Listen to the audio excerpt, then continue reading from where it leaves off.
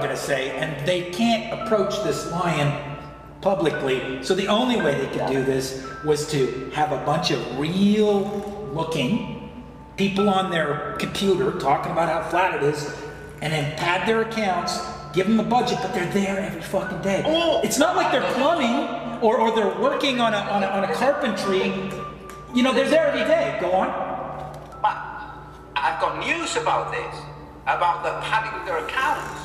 Okay, this is you, you, when I tell you, you might go, "What the fuck?" or you might go, "I fucking knew it." Right? Yeah. Patricia State. Patricia State. Fake accounts, fake views. Three thousand dollars every two weeks she receives. From what? From whom? You mean? Oh man. Really? Three thousand dollars every two weeks. That's six fucking thousand dollars. So that's what I'm trying to find out here, and this is what's going on here, is these people I hired by section heads and supervisors in supervisor roles at NASA, the NSA, the FBI, the CIA. These aren't regular people. You may be the smartest person on your block. You may have the best marks in the history of your program. You may have written some of the most robust code ever, speak and write 10 languages fluently, or be scarily bright in math, physics, or engineering. But we have just one question for you. Can you keep a secret? We are the Communications Security Establishment Canada. We're serious, really serious about our mission. We provide the Government of Canada with foreign signals intelligence and protect information of national interest through leading edge technology. We do all this while facing the increasingly complex threat of cyber terrorism, and we think we just might fit in with your plans. If you understand what it means to put every ounce of your learning on the line, to work with some of the most learned people in the world every day, to take on staggeringly complex problems and hammer out solutions, you've got at least part of what we're looking for. But back to the keeping a secret part. You see, that motherload of information we've talked about has enormous strategic and economic value to Canada. As you can imagine, it is highly prized by those who would create chaos and threaten our safety and security. How we protect it is top secret. And as a member of our team, you become a guardian of Canada's information. That's where keeping a secret comes in. Here's how we work. We focus on two key lines of business. The collection of foreign signals intelligence and the protection of the Government of Canada's electronic information and communications assets. Our vision to safeguard Canada's security through information superiority. How do we do that? By harnessing the very best in technology, collaborating with the very best international partners, and by hiring the very best in people power to come and work for us. People like you. When you work for us, you are entrusted with this responsibility. Whether you're an engineer, a computer scientist, a mathematician, a language specialist, an intelligence analyst, any member of the CSEC team. So, here's the offer. If you want challenging work where your abilities are put to the test and pushed to the limit, in an environment where some of the world's best and brightest minds come together in a single campus in one of Canada's most vibrant cities, if you're interested in competitive salaries and benefits, flexible schedules, a respectful workplace, and a management team that is committed to investing in your learning, if you want access to rewarding and diverse career opportunities, and if you want work that has meaning, profound meaning, that will help protect Canadian assets, foil the plots of terrorists, support the efforts of our military, security, and intelligence agencies and worldwide partners, and if you want your work to save lives in Canada and around the world, then the Communications Security Establishment Canada has what you're looking for. So, if you can keep a secret, let's talk.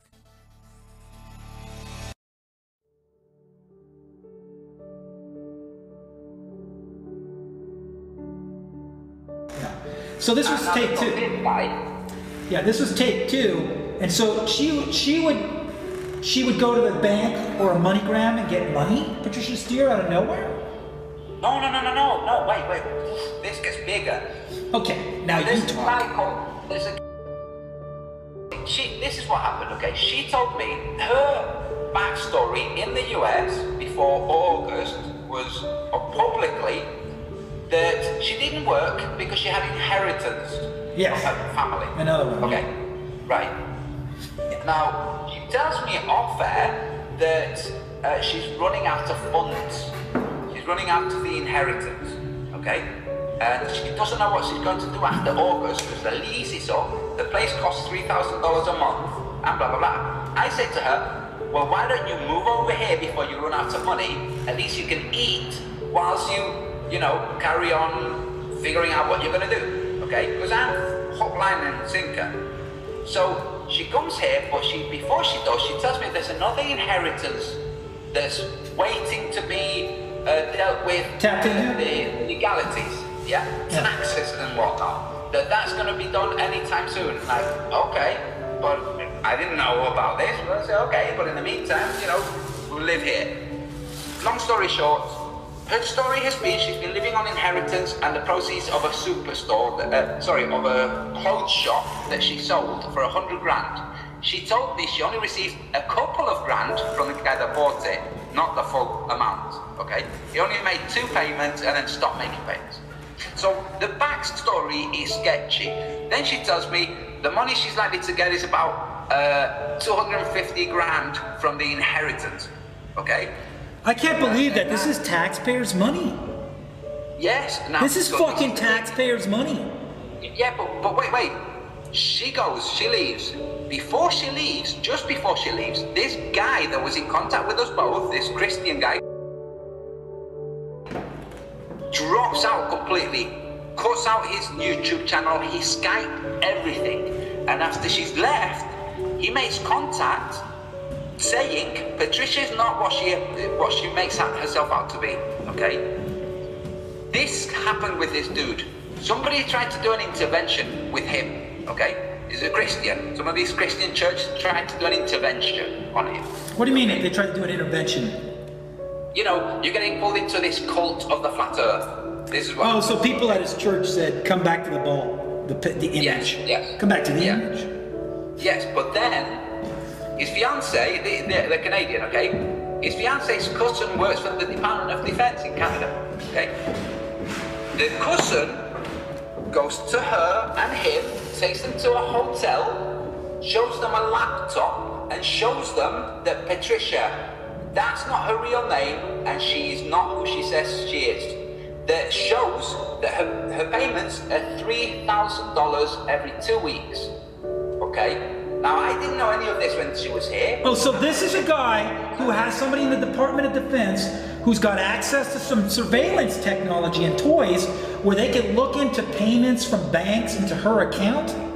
Oh, so this is the Canadian. Uh, so this has got to be a really dark, secret Canadian government with hooks into the US government because she's paid from the US. So this is like, you have to not fucking mention this. We in Canada have spies in the US and we've got in systems. So this is why he can't talk about this publicly, okay? Hmm. But what he's he's Well, that's that's the that's the Queen's back door to, to the to her colony, Canada. The, Yes. the War of 1812. I mean, it's Commonwealth. God. There's that, this is all about the Pope and the, the royals getting their land back. And they're going to Yes. use Russia and China to bully it. So, so this is what the dude gets shown by somebody he has no reason to doubt. This is He's in the Canadian Defense Department. Yes, look, You're involved now with this. Get out of it. this, this is what you're involved with. This woman is this. This is what she is. Now, what department was making the payments? How they're made? Who knows? Okay, I have no idea. Mm, I I don't know. I haven't spoken to him about the details yet. Okay, but that this is something. Uh, Do you think it's Canadian funds that are being transferred? No, no, no, no. These are U.S. dollars. Okay, so this is a Canadian. This is a Canadian intelligence per person that's showing them through the U.S. Look what's going on. Wow. So the intelligence that the, the Canadians have on the person calling herself Patricia Steere. Okay? So that she Steer, he said- obey, sergeant. Yeah. Yes. Police, yes. obey, steer. Yeah. Yeah. So um this is the, the situation. This is why I think Jeran is bona fide. Jeran was offered 10 grand to drop Bob from Globebusters and have him replaced with Robert Bassano, this fucking cretin. Okay? Who, who, who the fuck has 10 grand to, to, to invest in the flat earth? The people making the money off the advertising on YouTube? What, what, who's giving Jeran 10 grand? Who is the truth frequency? No, no, no, listen, listen. There was this guy called Robert Bassano who wanted in on Globebusters. And he wanted to buy in. Yeah, when he wanted in, he wanted to be part of the panel, okay? And Jeran said, nah, it, it's, it works fine as it is, okay? The guy said, well, uh, why don't you cut Bob and replace him with me? I will give you 10 grand, okay? Now, this guy knew that, that Jeran was strapped for cash. And Jeran said, no, no thanks, man, because he got a bad vibe off him. And then to old Bob, like, what the fuck? This dude has just offered me 10 grand to, To get rid of you. Yeah. So so this is why I say, why I genuinely think Jeran uh, is not one of the crowd, one of those guys. Well, that he he he was basically, you know, surrounded by people. My gut was like, you know, and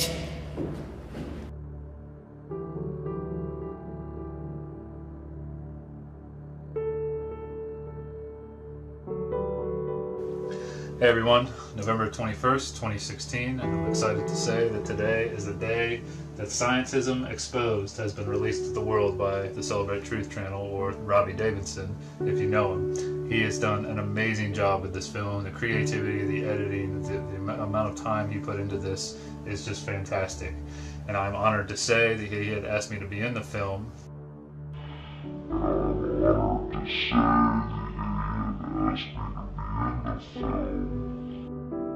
And I'm honored to say that he had asked me to be in the film.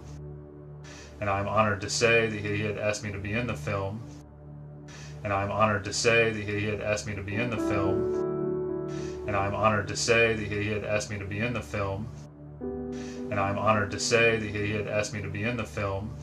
And I'm honored to say that he had asked me to be in the film. And I'm honored to say that he had asked me to be in the film and I'm honored to say that he had asked me to be in the film. And I'm honored to say that he had asked me to be in the film. And I'm honored to say that he had asked me to be in the film. And I'm honored to say that he had asked me to be in the film.